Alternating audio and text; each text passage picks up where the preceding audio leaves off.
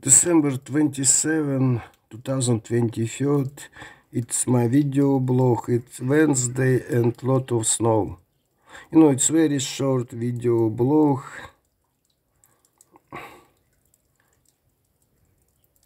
There is birds.